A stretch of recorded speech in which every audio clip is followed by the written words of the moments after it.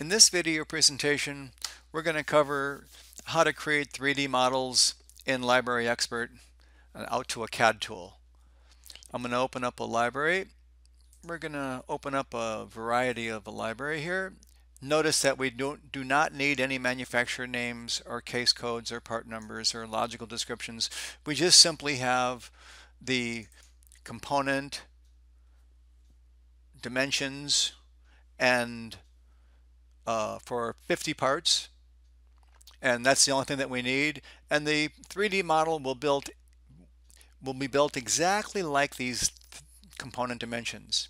The height the pin pitch the ball size okay? So in other words I can have an aluminum electrolytic capacitor for surface mount and I could have a thousand different dimensions and I'm going to get a thousand different land patterns.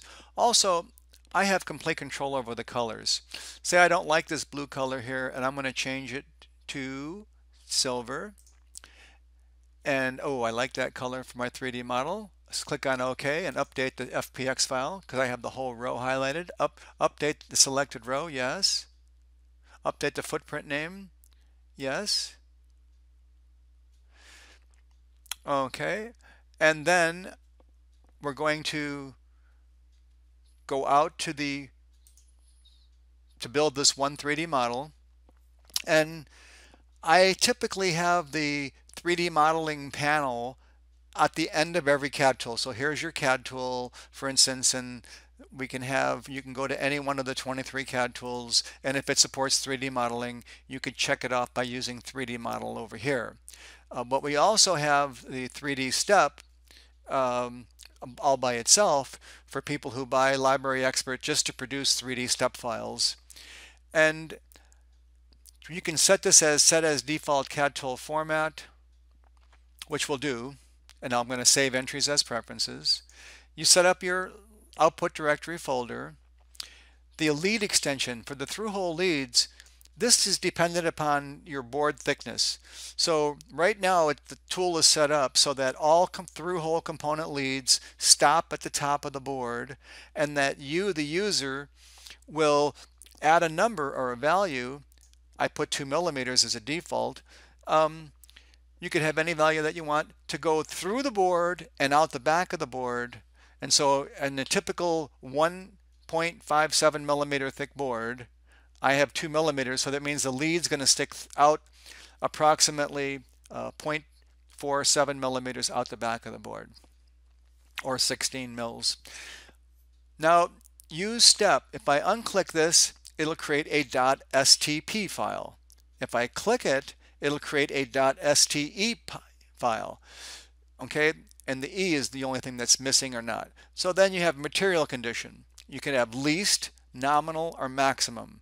Most people produce nominal 3D models, but you can certainly output maximum if you want to see the maximum material condition of your 3D model. Include suffix in the, in the name. Well, this would be the density level. So if you're producing a, a most uh, density um, library, CAD library, and it's going to put an M at the at the end of every footprint name.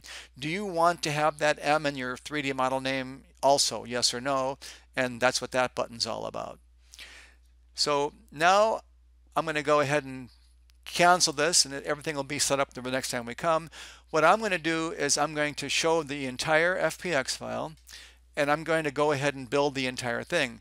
I can select in the gray boxes here which 3D models I want to build or I can click and then shift click on the gray boxes to the left of the footprint name and it'll highlight the rows that I want to build or I can click on the upper left corner gray box and it'll highlight the entire FPX file of 50 parts that I have here. And I'm going to use this wrench uh, with this with the screwdriver, which is add selected parts to a CAD library. And then we're going to go ahead and then have the opportunity to change the density level and to change the units or to whatever I want to do here. And then I, when as soon as I click that, I go into my 3D model output menu. And I could change anything I want here. For the vertical axis, um, typically a Y is on the right plane, and that's where like a, like Allegro and Altium want their vertical axis to be zero. And then some CAD tools will use Z, um, I'm going to use uh, Z because I'm going to be going into SolidWorks, okay? And SolidWorks uses Z. Uh, then I'm going to go ahead and then create and close, and I'm going to put all the 3D models in this folder here.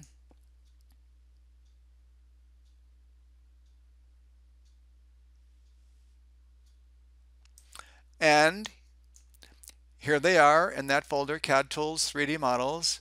And there's all the 3D step models that I just built, just like that, per the actual component dimensions. Here is SolidWorks. And we're already open in the CAD Tools 3D models, and there's the 3D models that I just built on today at this particular time. Okay, and we'll open up uh, the ball grid array, let's say, or the we'll, we'll do the aluminum electrolytic capacitor um, that we change the color on. We change it from blue. And here is, you want to run a diagnostic on this part? No. And to want to proceed? No. Okay, and then now I have my 3D model in SolidWorks where I can see the component leads, um, the polarity, the colors. Let me open up another one. Uh, open. And it'll open up the BGA. And the BGA, don't forget, we have lots of balls and lots of things to render there. No and no for the for the diagnostics. And here's our ball grid array that we just created, um, viewing it in SolidWorks.